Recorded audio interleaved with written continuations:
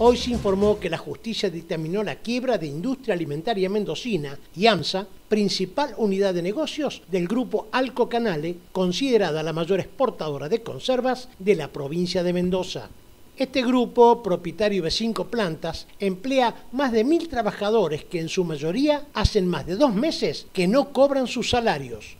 El Grupo Canale tiene tres plantas en Mendoza, la de Tupungato, la de Tunuyán y la de Real del Padre, donde hacen el llenado de conservas de tomate, fruta y mermelada. Además, se suma la planta de Redepa en Lavallol, provincia de Buenos Aires, que hace los envases de hojalata para los alimentos de conserva, mientras que en Catamarca tienen la planta Caminos de llenado de legumbres.